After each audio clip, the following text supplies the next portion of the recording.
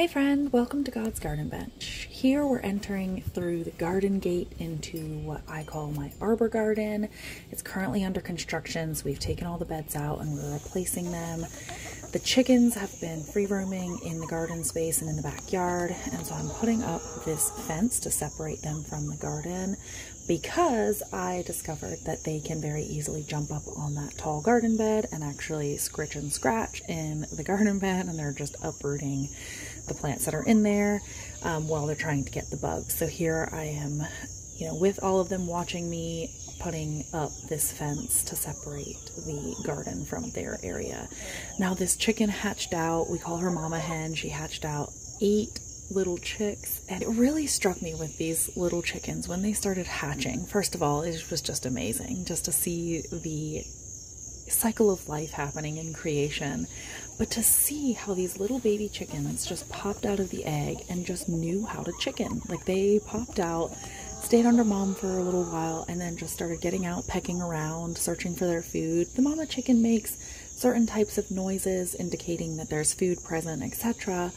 But it was just amazing to me how God's creation is so perfectly designed and how they just pop out and know how to be chickens. I it was it's just been such an amazing experience to see this process happen with this mama chicken and then how loving she is to these little chickens and it has just been such a testament to God and his creation watching that happen as is the whole garden for me. So here I'm just continuing to try to get the fence up and you see me here I am working on getting this gate situation somehow figured out as Mighty is waiting patiently, wondering why he's been left out of the garden. Now, this dragonfly came and hung out with me for a little while while I was putting the fence up. It's on one of the T posts, and I think dragonflies are absolutely fascinating. They are so beautiful and agile, and they just, oh, they're just an amazing, amazing thing to experience. Now, taking you around the garden and showing you different things that just fill me with gratitude. This the garden this year has been a bit disappointing for me. I it's not the way that I thought that it was going to look. It's not the way that I thought that it was going to feel. And one of my friends and my spiritual mentor told me, she said, You light up when you talk about your garden. She said, I urge you to go back into your garden and, and just be there and kind of get back into it. And she was so right. And as I was taking these clips, I just saw these little things that I hadn't noticed as I was walking through it, like the grasshopper and the spider and this giant pile of needle ants I've been trying to, to evacuate out of my garden, um, but they just keep moving around this one bed. But just seeing all of the beautiful things that are in this garden space, even though it's not my version of perfect and how I envisioned it when I planned it back in February and March, it's still absolutely striking. I mean, the colors of those flowers and how many different shades of pink are within this one plant. All of these pink flowers are on one single plant. This is not multiple plants. And it's just amazing to see that and then to see it as just a small part of God's massive creation and how He designed this hummingbird moth, which is incredible, that looks like a hummingbird and like behaves like a hummingbird, but is actually a moth. Um, and so when she told me that, it really hit me. It really resonated with me because she's so right the garden is such a special place for me, and that's oftentimes where God meets me in such beautiful and amazing ways. And He uses that creation of His creation, and I'm His creation, and He really kind of speaks to me through that and makes things make sense.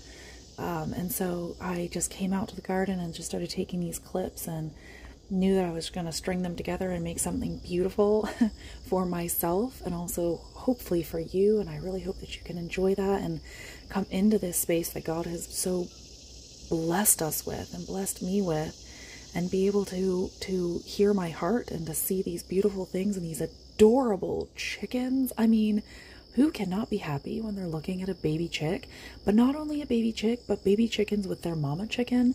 Something about that just makes my mama heart so happy and full.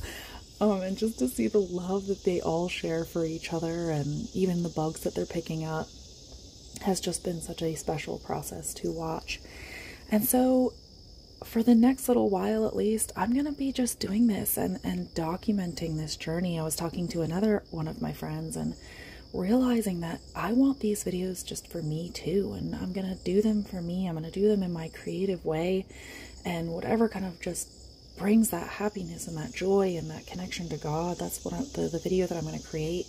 I'm to not attempt to please the algorithm and please the viewer. I'm to do it because it brings me joy and it touches my soul and I I know that someone out there even once again if it's just one of you enjoys these beautiful videos and walking through my garden and seeing this beautiful butterfly who was really shy and I tried to keep getting it. I kept chasing it around and finally it kept saying no thank you like go away and finally I left it alone. But you can see it from a, a, distance, but at the same time, you get to look at the beautiful sunflowers and the zinnias, the beautiful colors. And as I was looking at these zinnias, I found that little guy, which was really cool.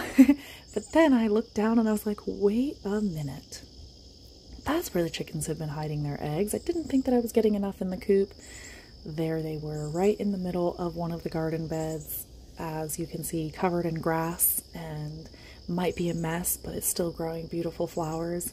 And then this is the loofah plant that I planted over the entrance of the garden, and it's just so beautiful and striking.